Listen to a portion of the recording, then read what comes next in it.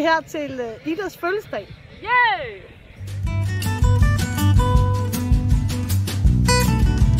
Det er min fødselsdag!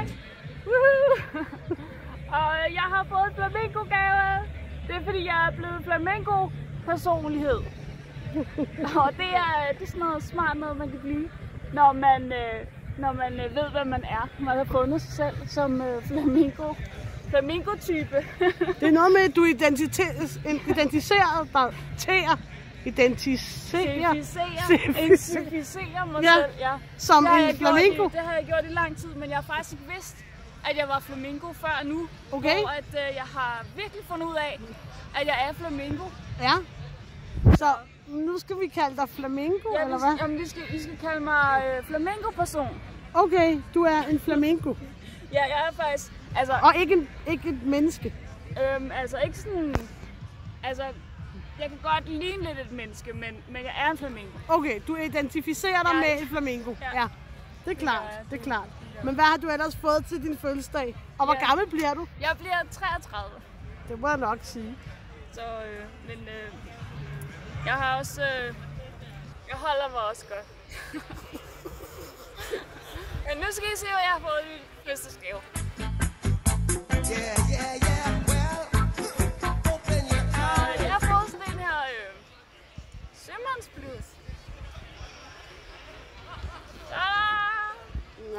den er smart. den er totalt Den er smart. Og min veninde har vasket den rigtig godt. Og øh, der er faldet noget.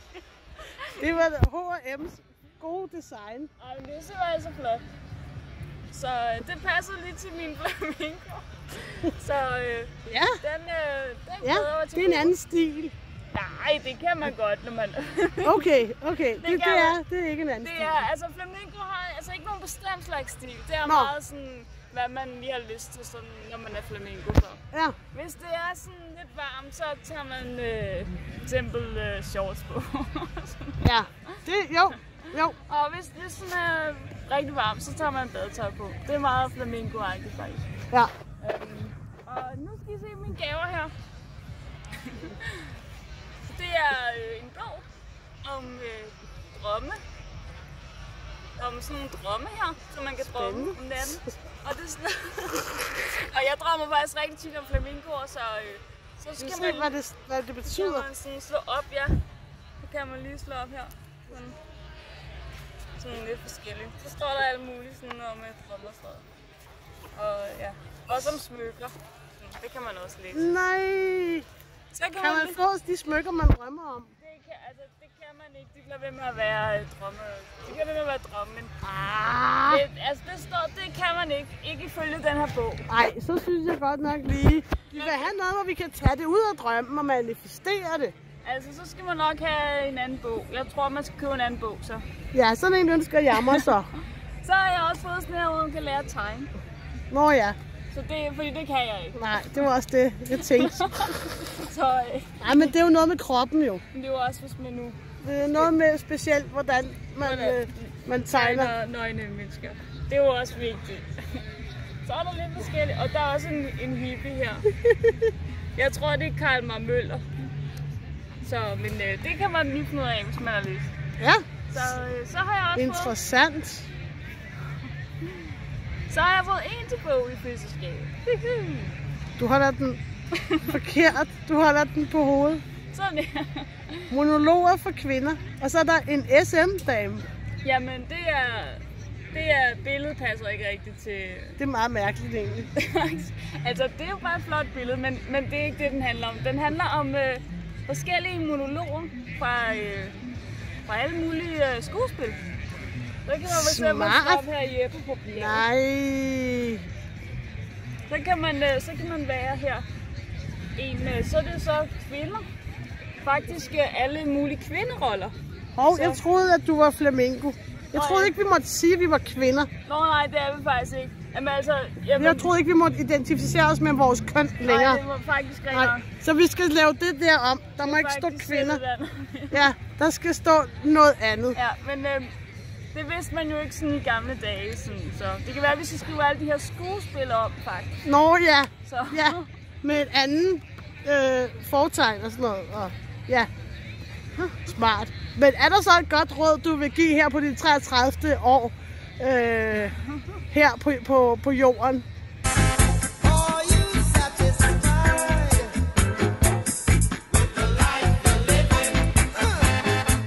Eller andet råd til folk, også hvis der ser, sidder nogen i en anden galakse eller sådan noget og ser det her?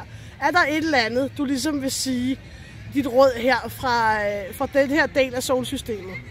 Jamen, så vil jeg sige, at de skal nyde det gode vejr, og øh, altså nyde solen, hvis der er sol der, hvor de er. Så øh, hvis, øh, så skal, Hvad hvis det er sådan en planet, hvor det bare sådan havler hele tiden? Jamen altså, jeg kan jo ikke sådan tage højde for alle Kan du måske ikke sådan specificere lidt, hvor i galaksen jeg skal sådan... Det kan Har du sådan lidt dybere? Sådan lidt mere sådan, måske filosofisk, sådan lidt mere dybere, hvad, man, man, altså, hvad du ligesom har lært nu i de 33 år her øh, på jorden, som du ligesom kan give videre til folk, hvor- eventuelt i et andet galakse. Nå ja, ja, men så skal man... Øh, jamen, det kan være meget godt at dyrke noget motion, lidt mere, hvis man har været sådan lidt doven. Men det er jo selvfølgelig ikke sådan så dybt. Skal vi ikke lige kigge på din slattende arm i den forbindelse? Jo, men det, det, altså, jeg kunne godt bruge noget motion, men altså, jeg ved jo ikke om dem der sådan i Nu så vi det ikke. Gør lige igen. Øh, altså, altså, øh, jeg har ikke, altså, sådan, det dybe råd, så skulle det sådan være sådan at bare slappe lidt af, sådan, altså, jeg Ja. tror måske, der er mange aliens også, der har haft ret travlt her på det sidste, så Ja. jeg synes, øh, i det hele taget, lige meget hvor man er i galaksen, så det der med at slappe af og lige trække vejret og bare Ja. være sådan med det, der er, sådan, og ikke uh, skulle prøve at lave det om. Altså hvis man har nogle lidt slatte arme, så kan man måske godt sådan, lave lidt motion, men, men også bare sådan virkelig bare nyde sådan det, der er og slappe af. Det er mit bedste råd til alle, også aliens og faktisk også se, øh, feer og trolde og sådan noget. Altså uanset hvem man er, synes jeg, man skal slappe rigtig godt af. Og hvis man har lyst til at være en flamingo, så, så kan man også vælge det. Det skal, Det skal man have lov til, ikke? Jo, Ja. 100% Ja. skal man vælge. Ja. Ja. Det, der gør en glad og gør, at man slapper af. Det, Ja.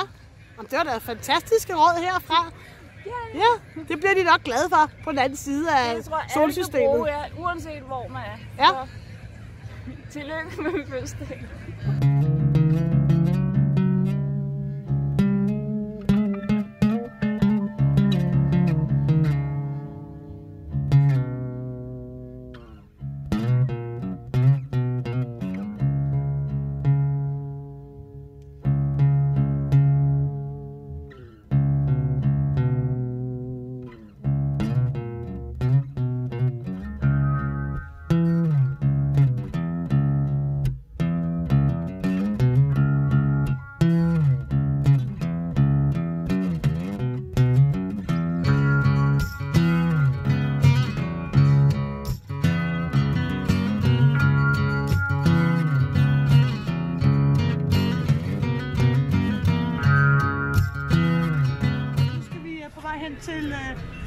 Øh, et sted, hvor man kan få øl, ikke også? Fordi vi skal have nogle autentiske øl. Og så skal man jo købe dem på, en, på den helt rigtige måde. Øh, og man skal også øh, vælge dem på den rigtige måde. Øh, men det vil sige, at man skal faktisk ikke tænke så meget over det, fordi vi skal være autentiske her. Så vi, vi, vi bruger intuitionen øh, og vores autenticitet, øh, når vi skal vælge den her øl. Så, øh, hej. Nu ser vi, havde nogle øl her. Tak. Tak. Nu skal vi se, der var, der var øl her. Der var mange forskellige slags. Så, så kan man jo godt blive lidt forvirret. Hvad skal man vælge? Hvad skal, man, skal det være flaske, eller dåse, stor eller lille, eller guld? Guld, det er jo faktisk spirituelt. Guld. Ikke? Så, så der, der kunne man godt føle sig lidt draget altså, til den der guld. Der er også noget med en elefant på. Og et årgangsøl. Altså, jeg synes, der er noget med det her guld. Øh, guld eller, eller den her klassisk. Altså, der er et eller andet der. Måske, måske i virkeligheden den her. Det, jeg synes, det kan mærke. Det føles autentisk, det her. Det gør det. Det er slut. Skal vi tage dem her? Var, var vi ikke oplyste og sådan noget, og så, så sidder vi og drikker øl, som er lav vibrerende. Øh, Jo, men jeg kan godt forstå dit spørgsmål, men det er, det er virkelig autentisk. Og være klar over, at øh, mennesket nogle gange gør noget lavt vibrerende noget. Ja. Og der, der, der, øh, der drak du lige på en ekstrem autentisk måde. Virkelig autentisk måde. Ja. Ja. Jeg var meget klar over, at jeg var lavt vibrerende. Ja, så det er i orden, hvis man bare er ekstremt øh, øh, altså klar over, hvad man gør. Så er det ikke så vigtigt, hvad man gør, men hvordan man gør det, og at man er klar over det.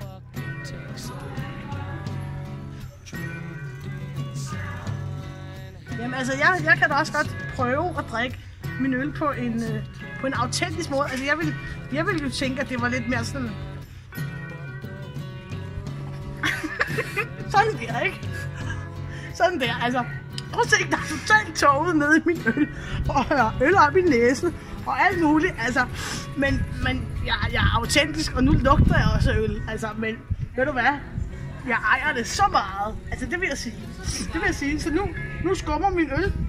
Og den er helt tåget, Øh, som, som vi sikkert også bliver om lidt. Ikke? Altså, øh, og, øh, og det, det, det, vil jeg sige, det er, det er autentisk. Det er det faktisk. Altså, og så, så vil jeg også lige vise jer en anden ting, fordi så nu når vi snakket om lavvibrerende ting, ikke? så kan man sige, at øl er lavvibrerende, ja ja, men, men cigaretter, det er ikke lige så lavvibrerende som øl. Og så skal jeg lige prøve at se, hvordan, man tæ- hvordan tænder man en smøg på en autentisk måde, ikke? Fordi nu ved vi godt, det er lidt lavere vibrerende end, øh, end øh, guru og sådan noget, ikke? Og de der Ascended Master og øh, forskellige andre guder, der er altså, cigaretter måske lidt smule mere lavt vibrerende. Men du kan godt gøre det lidt højere vibrerende, hvis du gør det på en autentisk måde. Hvis man ligesom ejer det, ikke? Ejer ligesom sine problemer, ikke? Og sin misbrug.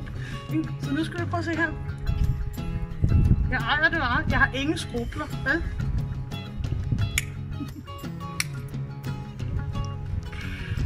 Det er autenticitet, der vil noget. Ikke? Det er det, der er oplysende. Det er det, der er hele hemmeligheden bag den her kanal. Og der, hvor vi tager jer hen, det er vejen mod oplysning. Ej jer selv. Kend jer selv. Vid, hvor I har jeres svagheder. Men vid det. Lad være med at lade som om I er nogle andre, eller prøve at spille smarte på alle mulige måder. I skal kende jer selv. Det er det, det handler om. Det er det, oplysning går ud på.